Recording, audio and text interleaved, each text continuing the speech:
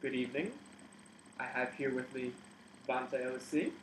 Thanks for having me. Thanks for having me. Uh, we are going to discuss some questions I've been given for my art history class at Full Sail University. So, first question is What do you think visual arts does as it plays its role in society? Like, what is its role in society?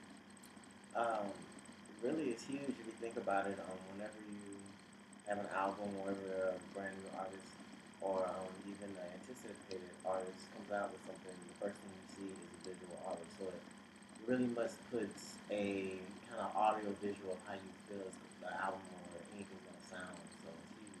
Um, if anything, it can move an entire movement of people.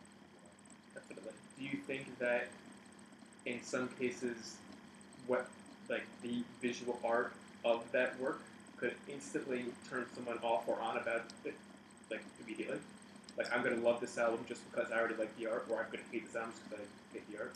Um, actually, definitely. And um, what some artists do, especially new ones, is they'll have a art piece where what they'll see a song um, will be, and if a lot of people don't see it that same way, then they'll automatically dislike an album from um, just what they think is gonna flow or what they think the song is about. So basically, in agreement, definitely, definitely, it can turn somebody completely off. Uh, in our current society, we have like really forwarded our communications and media technology.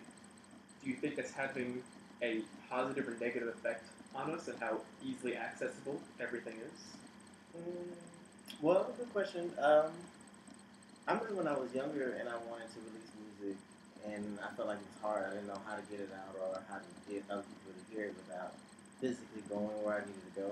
Um, so it's, if anything, it's really improved um, the creative process, being able to just throw something online and having everybody to hear it. You know, I don't even have to tell anybody, but tomorrow I can have millions dollars. So, um, definitely a great thing that media is there. Some people see it as a bad thing when you think about money, but music is, you know, it's music. You want it to be heard so people can experience what you're experiencing. Are you currently making money from what you're putting up? Definitely. Okay, then that's, yes, then yes, that works. I am. I am. Um, but yeah. Uh, so, within our industry, what sort of images do you think are coming up a lot or really frequent throughout it?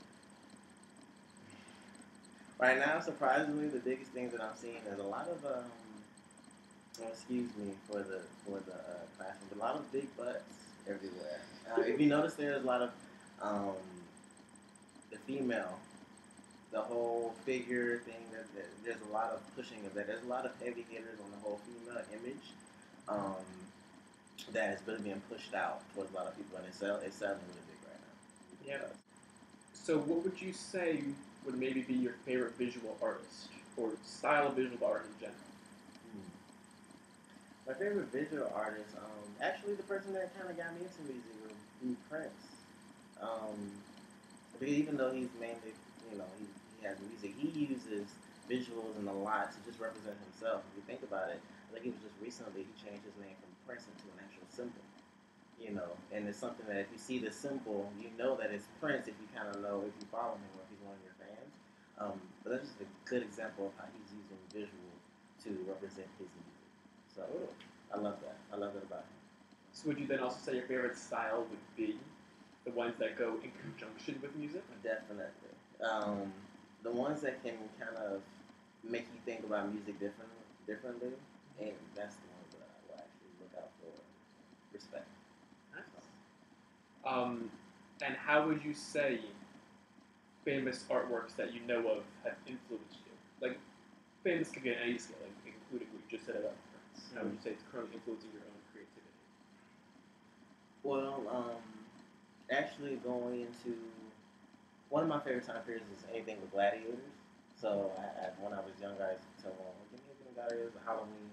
Um, so that time period, the artwork re- represented in that the whole empire, the whole um, just beautiful if you think about it that way. So not only that, when you think about that time period, you think about the music as well. Whenever you see gladiators, you you hear a lot of percussions. So a lot in my music, I use like a lot of big percussion sounds, a lot of toms, and like they'll be really in your face. And it's really because watching old school movies like that, and just you know, so you hear that in the background.